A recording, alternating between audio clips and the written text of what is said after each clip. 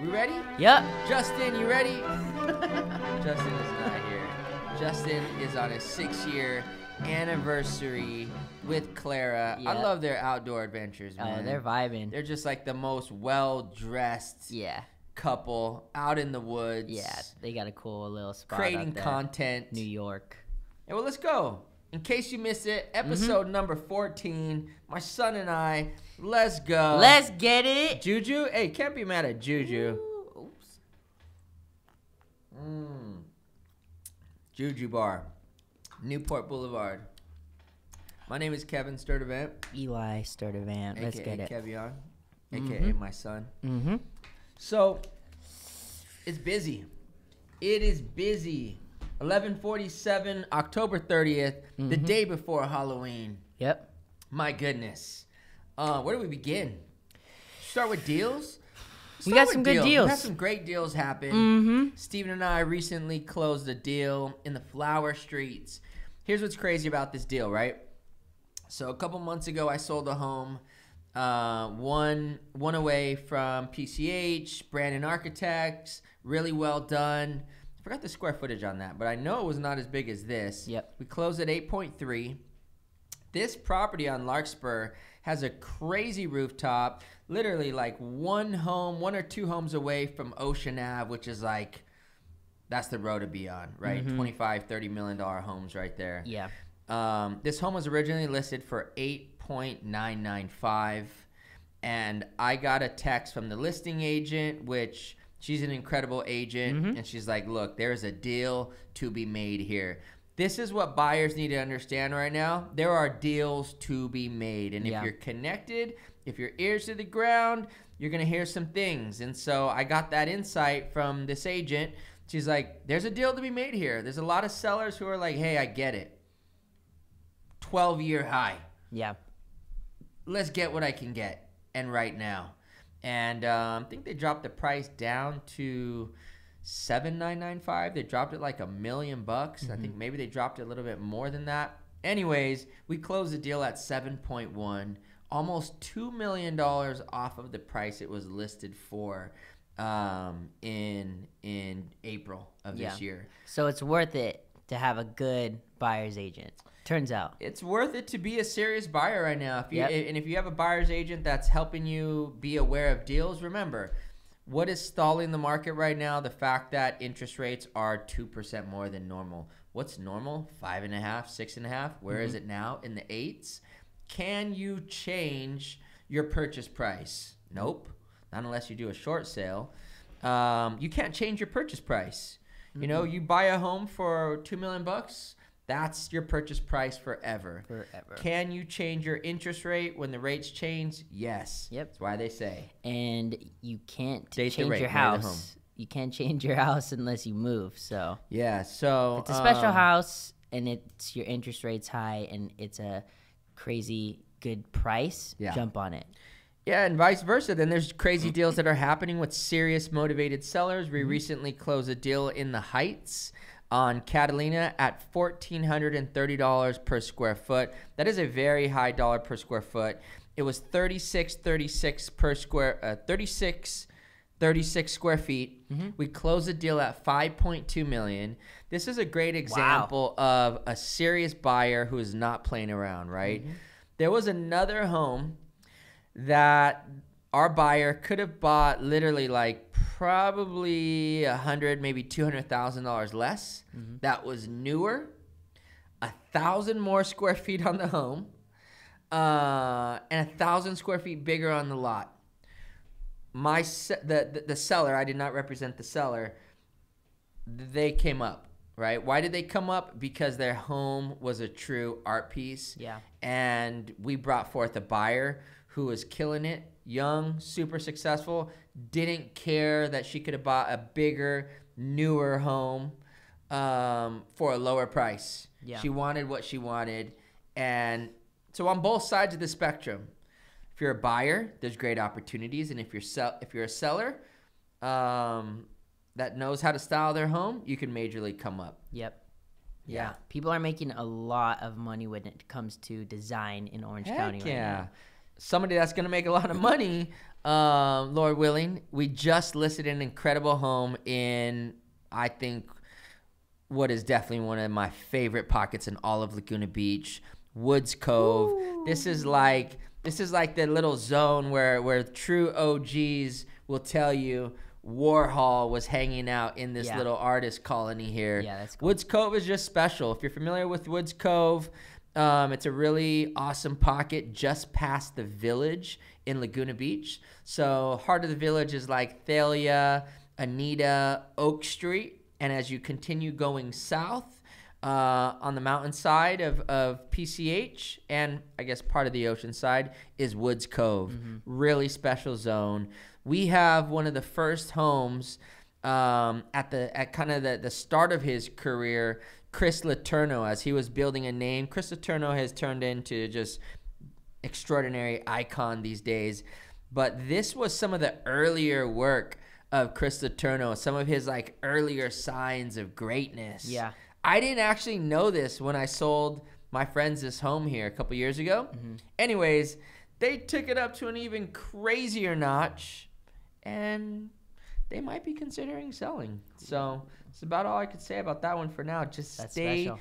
tuned to my IG at Kevion. Do not sleep. There's some deals out there. You just got back from a trip. I got back last night. Man, how was it? it was cool. I you were went, hanging out with Owen Wilson. yeah, in Maui. Dang. Lives in Hawaii, bro. How was it out there? It, it was it was kind of there was a lot going on you know this obviously the fires I've got uh I was visiting some family with Malia and um Because you guys were on a date there just like not that long ago. in Lahaina so Lahaina Lahaina's where all the fires were and so we got to go Because what's your, like, your your people on your mom's side live there? um which Your uncle? my uncle my grandma and my grandpa Dang. and then his my uncle's wife and daughter so they live there they're not living in lahaina but th- a lot of business comes from the tourism Mm. how was his his business affected? i mean i think for him it's definitely rough because it's you lose a lot of the people that are coming in because Yeah. it's a lot of tourism and Right. his business like a lot of the people in hawaii is tourism based Right. so he's definitely taking a hit to his business. But it's cool to like visit. Um, and they're rebuilding the locals. It's a very strong community, the, Yeah. the local community there. Yeah. So it was it was cool to see that people's attitude is still good, but it's definitely it's definitely a bummer. Like flying out, you could flying over, you could see it's just black. It's gnarly. Yeah, Dang. it's crazy. That is super crazy. Mm-hmm. Good trip though. It was fun. Yeah, we Yeah. still got to like go to the beach. Heard you're going to Hawaii two times in the same month. uh two times same month. yeah. Wow, lucky kid. Yep. so um, on that note we if there's one place that i've gotten more love from in terms of the real estate community everywhere i hear a lot of san diego san diego a lot of san diegans are like open KASE in san diego i get it a lot in the bay um, i get it a fair amount in florida i would say san diego is number two yeah. but number one, without a shadow of a doubt, has been Oahu. A lot of agents have reached out to me and said, if you ever come to Oahu, we'd love to meet, we'd love to talk. And I've talked to some other my of my friends out there, um, just like, why do you think that is? Why do you think we get so much insight from Oahu? And I think when I when you look at kind of the industry, um, of, of, of the main brokerages, they're all the main larger institutions. Um, there aren't really any family owned independents out there. Yeah, I'm sure there are. I just haven't really seen them. No, well, uh, when I was in there's and when I, and I went to Maui, not Oahu, but you see there's a good amount of homes that are coming for sale in Maui just for different reasons. Um, no small. I didn't Right. see any small companies. Yeah, so it's Yeah. Mm-hmm. all the larger companies, right? It's your CVs. I think Yep. C21 has a presence out there. Yep. Um, Compass, right? And so much love to all of those companies, just like we appreciate those companies here. But one thing I've learned as we began to figure out if we could actually put a positive dent in the market marketplace um, is that I think there's an opportunity for us to grow and impact agents and show them the way we move and the way we imp- impact communities and market listings and prospect um, and do events that are relevant for us. Yeah. So, you know, I, I'm looking forward to it. I'm meeting a bunch of agents in Oahu um, later this month. Well, I guess when this comes out, it'll be November. So Yeah. if you're an agent in Oahu and you want to connect, I'm going to be out there around the week of Thanksgiving. Would love to wrap out. Would love to connect. I'm going to be doing a couple little meetups. So come through, say what's up. KASE Oahu.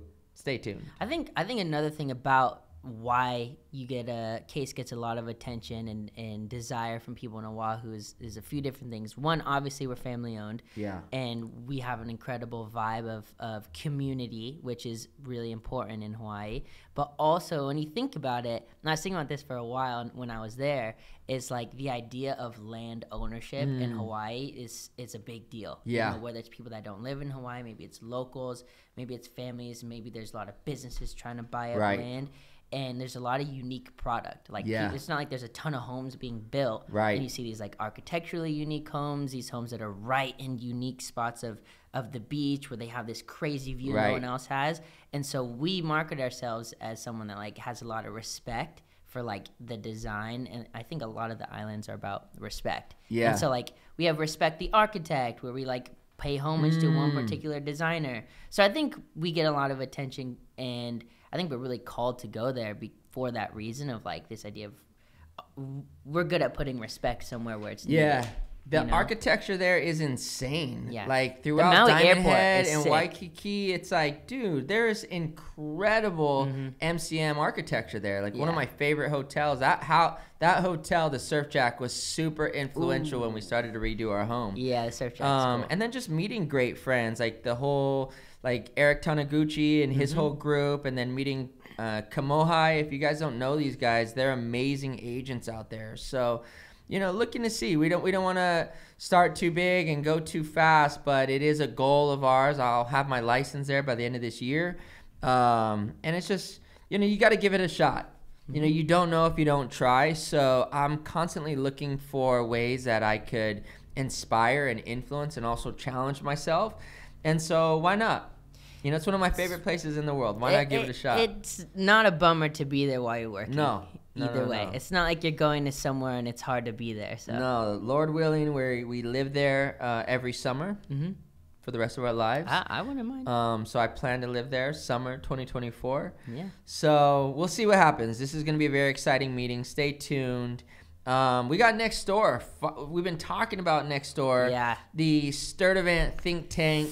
Can't Um, wait. A really inspiring environment for the crew to get to work. Mm-hmm. Um, so really excited about that. Construction has officially broken ground. I've just been paying monthly there for absolutely no reason. so to to see real progress Yeah. taking place there is pretty exciting. It's cool walking in there this morning because literally uh, last week with nothing was there. Right. So like I, Yeah. last time I saw it, um, I didn't. It was completely empty. Yeah. So like walls are up, insulations in, drywall's in. Yes. Um, it's pretty sick. Well, like, we're gonna need your soundproofing tactics because Yep. while we aren't making music, um, we are we are we are making music. It's just Yeah. in a different a different kind of way. Yeah. Yeah. So what is it? What is your vision? Uh, obviously, you've talked to me a lot about like the vision behind the space. It's for Team Stirdivant. Yes. Or the Stirdivant Group, Yep. which is our official name. Yeah, I just want to So create a, a, a zone for our team to get locked in. Mm-hmm. You know, it's really easy to get distracted. You know, like that's why in this office I put these blinds in because I need to be able to be locked in. Yeah.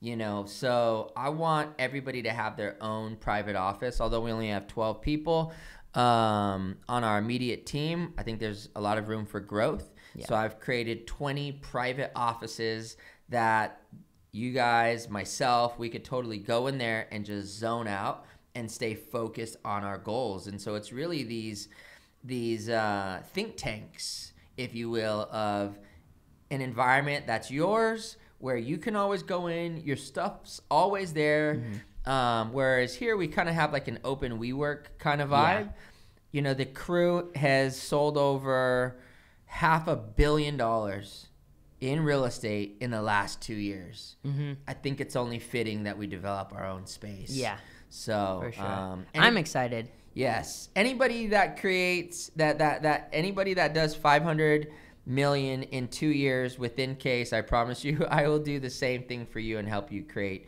um, your own space. Mm-hmm. We officially signed a, uh, some paperwork for KASE in Claremont. Ooh, That's super exciting. sick. Um, so so Claremont, if you don't know, is the last city east of Los Angeles County. The mid-century architecture in Claremont. There's Neutras in Claremont. Yeah. It is such a beautiful city. So to create an HQ there, that will be official office number three. It's a good amount of the actual case study homes in Claremont. There's some there? stuff. There's some architecture out there. Yeah. And so um, we'll be building a squad out there. Reach out to us. We're looking to build an incredible team out there. Um, KASE LA is going off. Yeah. Caesar, Courtney, Jay, those dudes are really doing an extraordinary job at um, leading the way, you know, and showing these guys what's possible. David Duong, everybody over there. I'm in LA every Tuesday. So if you're an agent and you want to connect or one of the friends, um, hit me up because I'm in LA every Tuesday looking at some of the dopest real estate on the planet. Yeah, I will say too. Just I'm in the LA group chat, and I'm not even part of the LA office, but like I'm getting pretty inspired. Like 2024, I would really like to step into a little bit of the LA should, market man. because of how much awesome design is there, and I'm, and I'm there often anyways, just for music, and um, it's cool to see them like really like since you started going there weekly, Yeah. they're like really pushing themselves to like knock on doors that are like beyond anything they've ever seen before. you Well, know? and so I think that has a lot to do with the way my mindset has shifted a lot with my role here at KASE. Mm-hmm. This was the first year, honestly, where I was like, whoa, can I actually step back a little bit, take take my foot off the gas a little bit in terms of my agent role and pump it up a little bit more with my coaching um, as I love coaching. Mm-hmm. So I'm not stopping anytime soon in terms of my role as an agent. Yeah, I didn't. I haven't seen you slow down. No.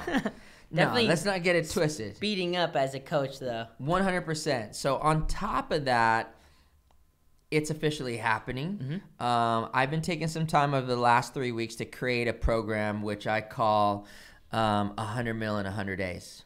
100 Mil in 100 Days is a program that I'm developing for agents who want to play this game of high level production Yep. and understanding what it takes to close a hundred million dollars of real estate in a hundred days. So that is the the the baseline of this program. I'm not gonna rush it. I'm gonna roll it out slowly, but stay tuned because I could I could release it this year. It might be in January, but stay tuned because I am releasing the official KASE Academy 100 million in 100 days coaching program in the very near future here.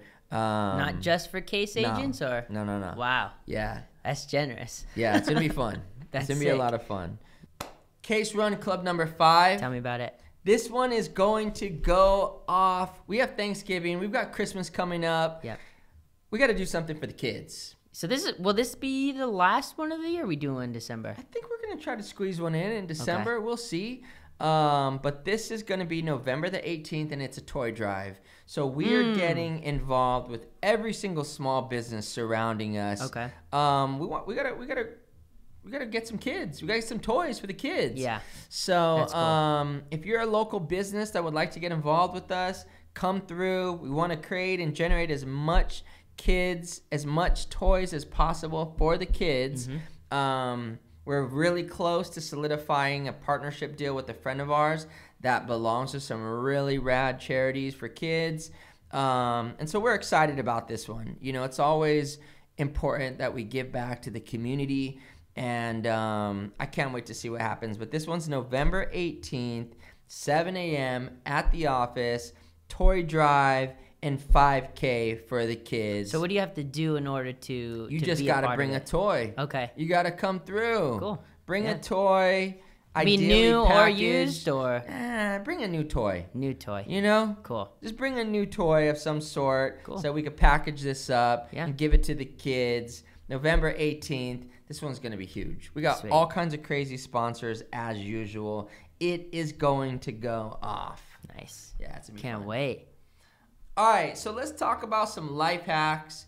We've got on the agent side, right? We've got like one more month of production. If you're a real estate agent and you're living, you- you're, you're listening. Some to people this, already. Some people are done already. Some people are already not, done, but if you're a lot of people are. And if you're not in real estate, this philosophy will still ring true to you. You and I were talking about this before, Mm-hmm. and it's that magic A word. Yep. If you want to turn up, if you want to go ham, if you want to elevate in this final few weeks of 2023, Mm-hmm. what is that magic A word? Accountability. Accountability. I think first things first is make a decision. I think a Mm. lot of people, what I see is like, you know, you got two options. You can either commit to turning up or you can chill. Yeah. There's no wrong answer. Like Right, some people right. like holiday season, they just want to Hey, chill. I chill. think the danger zone is when they're stuck in the middle Mm. and then you didn't chill for the holidays because you were like oh but i want to i want to turn up i want to work i want to grind i want to hustle and but in the times where you wish you would have hustled Mm. it gets genuine like oh well like i kind of just Yeah. chilled i Right. that temptation to chill so whichever one you choose commit to it and then accountability is Right, the way you commit right. to it yeah, that's good. because i think a lot of people get stuck in that middle in Look, the holiday season I'm a huge fan at taking a break. I'm a huge fan For of sure. getting rest. In Yeah. my older age now, it is so difficult to get me to work on a Sunday. I take that day of rest. Mm-hmm. I am so quick to taking a vacation if Alana wants to go somewhere random. I'm like, yes, let's go. Her uncle is developing this resort in the Philippines that is so cool. She was showing it to me, and I'm like, yo, let's go this weekend yeah right? I'm a huge fan of pumping the brakes and and recharging your batteries. But I'd say I'm a bigger fan at going one freaking thousand Yeah. while you're here. There is no time to play small. There is no time to waste. There is no time to be mediocre. You gotta go ham. yeah But here's the reality about going ham you need help. yeah You need some sure. support.